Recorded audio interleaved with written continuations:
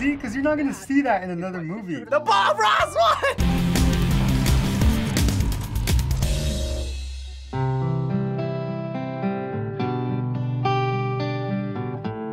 Oh, I know what this is. It's Deadpool. Deadpool?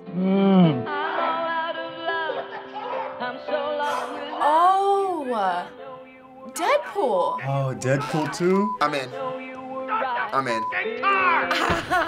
I think this might be one of the only sequels that won't be bad. Oh, my pants. Actually, that may have been me. Oh, you're living the dreams, DP. Yeah. Devil may care attitude. So I assume this is uh, Spider-Man. Strong guys. Looks like Spider-Man, but that's not quite his outfit. Sorry I'm late. I was rounding up all the gluten in the world and launching into space where it can't not hurt us ever again. He's such a good Deadpool. Oh my god. There you go. Love it. My man Cable. My name's Cable. It's weird. He's villains in two Marvel movies. I'm here for the kid. What? The kid? Move or die. Oh my god. Best part. I ain't letting Cable kill this kid. Of course, gotta have a little keep up with somebody off. That's funny. Comedy. Could you speak up? It's hard to hear you with that pity dick in your mouth. We're gonna form a super duper fucking group. Okay, so there's no rating on this one. Top, morally flexible. Terry Crews, an old girl from Atlanta. will be known as X Force. Isn't that a little derivative? Yo, is that Vanessa from Atlanta? I've been here for years. I'm rocking my feet. With suckers and beer. Making the tears. I am so excited for this. Listen to my bass drum. Tell me Dang. they got that in slow motion. Yes, that needed to be in slow motion. Doing the right thing is messy. But if you want to fight for what's right, The gore in these movies is also a driving point, one of the main reasons I watch it. See, because you're not gonna see that in another movie. you have to fight dirty. Too much violence. And that is why Sisterhood of the Traveling Pants is pure pornography. Hmm. It's got a point. I wish I finished college. Yes. Great sense of humor, too, for a superhero. It lives up to the hype, plus plus. it. They probably won't even make it three. Yeah, why would they? Stop it too. You killed it. That looks amazing. That sounds like a movie I want to watch. I'm in. I'm in. They already got my money. I don't know what I'm supposed to say other than I'm not the target market for this stuff. So that's the latest trailer for Deadpool 2. I think we've been waiting for this for the longest. So Deadpool 1 has come out. Didn't see it. Deadpool's become known for its unique teasers and trailers. We even showed one to the college kids last year, so we have a few more teasers to show you now. Oh, I hope it's the Bob Ross one. It's so genius. It really is. People think they understand pain, It Starts out like a trailer. but they have no. Is this the one where they haven't green screened it out? What's the most pain you've ever felt? The teddy bear is great. Maybe the kind that leaves you more machine than man. Wait, no. Green screen. What in the actual a- Dale, why why why are the visual effects not done? It's a metal arm. It's not like we're trying to remove a mustache. Wait, that's Superman. Myself. Oh my god. Oh my gosh. It's perfect. Reach for the sky. Toy Story comes in. Oh no, Sheriff Deadpool. Sheriff Deadpool. He's wearing the Woody getup. No biting. They're done already?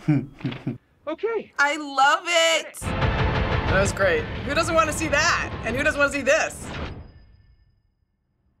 Your time's up, you dumb. Well, that's just lazy writing. Love it. It's definitely very unique trailers. It's so brilliant. It's so smart and well done. Oh my god. The Bob Ross one! That's Bob Ross. Getting wet on one with that. Hello there. Welcome back. I'm glad you could join me today. Let's just dive right in and I wish I had that afro. across the screen that you'll need to paint along with me. I have my regular old. Let's grab our trusty two-inch brush here. Whack that off real good. He's whacking off his two-inch brush. I like that part. Now, let's just dance and have a little. It doesn't seem like it's the same film at Your all. world.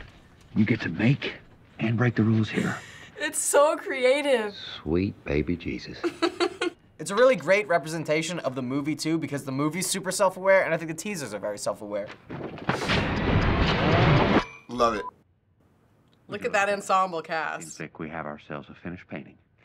So from our family to yours, keep your pants dry, your dreams wet, and remember, Your pants dry, your jeans wet. and remember hugs, not drugs. I love him. I love him. I love him. I love him. Beautiful. They have like an amazing like marketing team. This is my kind of superhero. Little tongue in cheeky. That's so good. That was my. I'm gonna go home and watch that again. Well, many people initially praised Deadpool for using unconventional marketing tactics and creating original footage, like we showed you, to market the film instead of using more traditional trailers, which at times can spoil parts of the movie. Well, that's a terrific ploy to get people to watch it because they don't know exactly what's going on. However, now they've released a full trailer which does contain moments from the movie. Do you think they should have kept releasing the more untraditional trailers, or was it a good idea to show all these scenes from the actual film? I think Deadpool is non-traditional, so going the non-traditional route is the way to go. He's already got such a big audience around him already that he doesn't need all that. I think it uh, should stick to its own style. There's millions of people out there in the world. There's enough people that can gravitate to that. It's kind of a bummer that they went. On, I think that they went in that direction and didn't just like, you know, really keep it fresh and pristine. I guess it makes sense that they're trying to reach everybody they possibly can because they have limited who can see it. All the like unconventional ones, like they're really funny and they definitely grab your attention. But you know, you also kind of want to see like a normal trailer too, see a few clips from the movie, because I mean, it doesn't really spoil anything. They needed to show a trailer just to be like, okay, we're like still a movie, just to appeal to people that aren't really, they don't really like that sense of advertising or they're not used to it.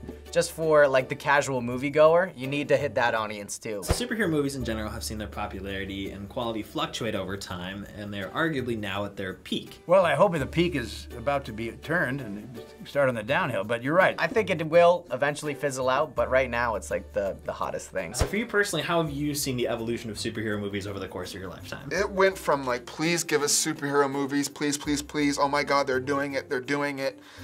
To where now it's so formulaic. We need to start getting innovative, and they are. We have shows like Legion, movies like Deadpool, things that they're trying to do, they're trying to change it up on us. I started with like Justice League as a, as a little kid that I watched cartoons on a you know a weekend morning. It wasn't this crazy blockbuster thing. When I was young, they had a few superheroes. They had Superman. It was crap. It wasn't as colorful. It was much lower budget. Now they're spending tons of money on this. When I was little, I watched Tobey Maguire and um, Spider-Man, and to literally see what that has come to, like between the three actors, like Tobey Maguire, Andrew Garfield, uh, Tom Holland, and to see like how it's it's progressed is is really cool. Once it started to like, they started to connect movies together, like how they did the MCU and the DC uh, universe. That changed the whole ballgame. The original Spider-Man kicked it off, and people noticed that, like, wow, superhero movies can make a ton of money with these big budgets. Marvel was really smart. They're like, what if we start combining these heroes? And then they have some of the highest grossing movies of all time. So finally, as this is Generations React, we have teens, college kids, adults, and elders all in this episode.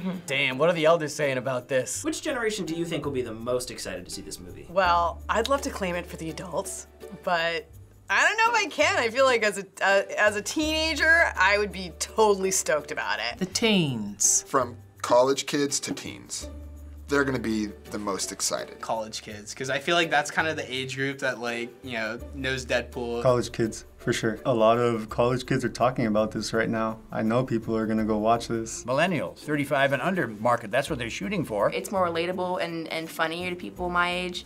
But I definitely think it can target everyone. I would say adults because adults could, for one, easily get in. Two, they kind of seen the development of superhero movies. It's like they get to compare and have fun with it. College kids and teens, this is this is their movie. Just because Deadpool's so much fun, maybe even adults, but I feel like a lot of adults it'll cross a line where they're like, ugh, we're teens and college kids, they're like, ah, oh, it, whatever. This is it's supposed to be fun. Thanks for watching this episode of Generations React. Subscribe and shout out to Paul Bryan and Jinx. Let us know in the comments if you'd like seeing all the generations together like this. Hey, you made it to the end of the video where that FBE staff member comes out and awkwardly tells you to subscribe or leave a comment below. Well, joke's on you, I'm just gonna stare at you till the video's over.